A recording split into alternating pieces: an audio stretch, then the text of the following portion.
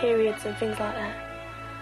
I don't like it, but you know you've got to have it, and it's, every, every girl has to get it eventually. So to just put up with it. I guess it'll be kind of annoying, basically, because yeah. my friends have it, and you know they have to take all this stuff to school and keep on going to the toilet all the time. I had stomach aches before, or I had temper. Because some people they say have they, you have temper when every period, but I guess I might have a temper. I filled out in places, really not much. My hips become rounder, and there's other things. Growing up is an adventure. We all go through it, and we all feel that we're the only one to have all the confusion and excitement. But you're not alone. It's exactly the same for your friends. Changing from a child into a young woman. It's the moment when you gain your independence and with it some of the responsibilities of being a young adult. And along with the different emotions go the physical changes, becoming stronger and more developed. Everything happens very quickly. Emotionally, you're on a seesaw, either up in the air or down in the dumps. But it's not just you, and it's quite normal. It's all part of puberty. There's some that are about the same size as me, but I'm probably the shortest by a little bit. Like you've got big tits, you've got big tits. Other people say they're not so big, you know, they're really quite small. And some some people just slimmer and everything. And sometimes I'm just worried about the way I look. Girls usually start puberty between 9 and 13. Some people start early, some a little later. It's different for everyone.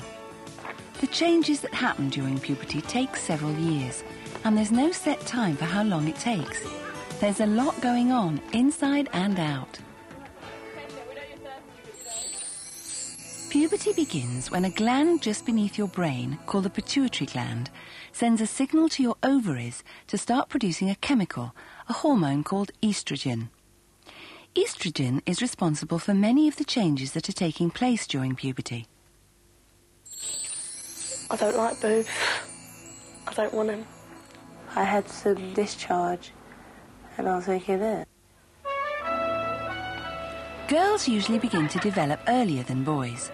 They go through what's called a growth spurt, shooting up several centimetres in a year or less. As you grow in height, so you begin to develop in other ways. Your breasts become larger and you may need to wear a bra. Just as your breasts start growing, you'll notice that hair will appear around your pubic area. Hair will also grow under your arms and on your legs. You'll develop a waist and your hips will become wider. You may notice a sticky whitish fluid in your pants. This is natural moisture from the vagina called vaginal discharge. This may also have a slight odour. A clear, whitish discharge is quite normal. It's a sign that very soon you will experience that really big change, menstruation. I come home and I went to the toilet and then I, and I saw it and I took my mum said, oh, don't worry, and I was crying. And I just quickly had a bath because it felt, I didn't like it. With everything that I heard, I thought it'd be hell. But then some people say, you don't even notice, you don't even notice. And I was, I don't know, I just thought that it'd be worse than it is, and it isn't really that bad.